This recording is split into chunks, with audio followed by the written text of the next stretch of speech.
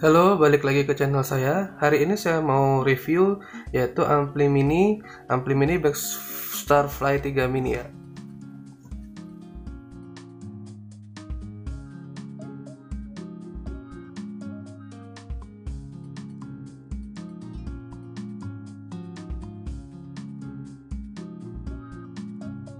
Nah, ampli ini aku dapat seharga 1.100. Dengan harga segitu kalian dapat dua ampli ya, dua ampli. Yang berbedanya bedanya yang satunya banyak pengaturan, yang satunya enggak ada alias polos. Ini dia.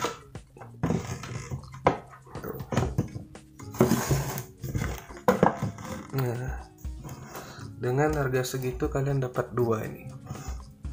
Enak lagi dia bisa dibawa ke mana-mana ya. Oke, kita bahas fisik dulu. Untuk materialnya dari plastik berwarna hitam ya. Ini semuanya plastik. Tapi bukan plastik yang murahan. Terus bagian depannya ini, ini pakai metal nih.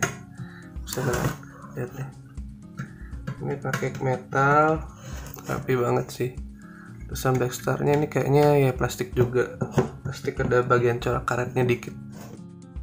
Oke, kita bahas untuk bagian atasnya. Bagian atasnya terdapat yaitu input jack, terus ada gain, ada overdrive, ada volume, ada equalizer, ada delay level, ada delay atau time, terus ada power, ada MP3 line out atau biasa apa pakai pakai AUX gitu ya buat uh, kalau kalian dengar lagu sambil main gitar kalian bisa colokin di sana.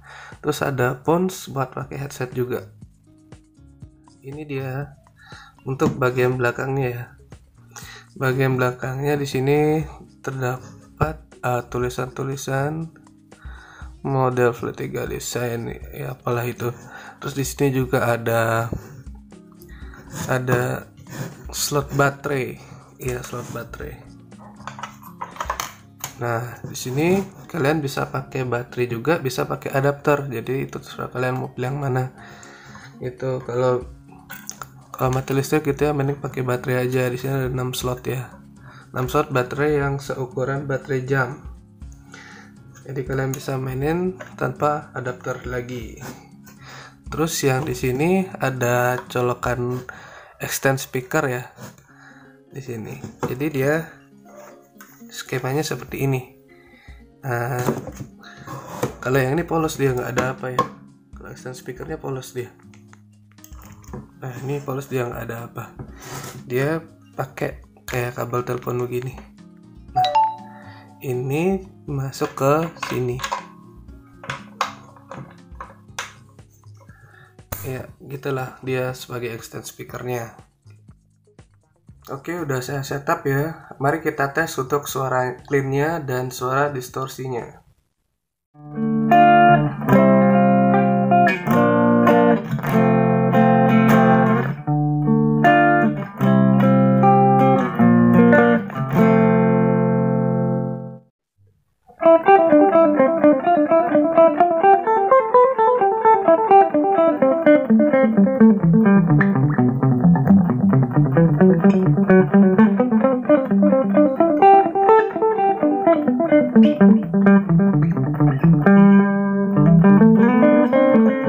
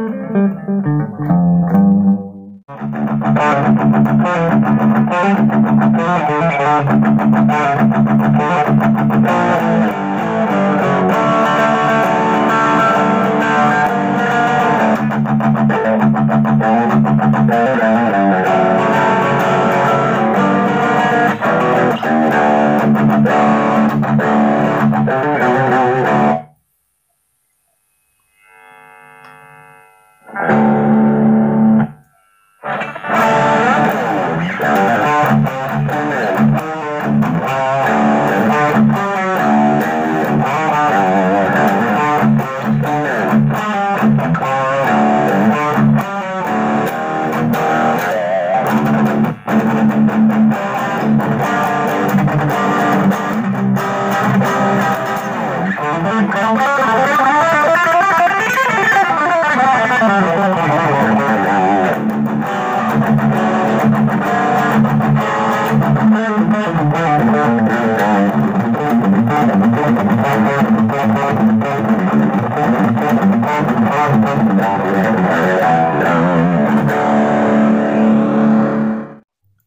sekian review dari saya. Terima kasih banyak sudah menonton. Tolong di subscribe, jangan lupa di komen dan diberi tombol like. Terima kasih buat semuanya.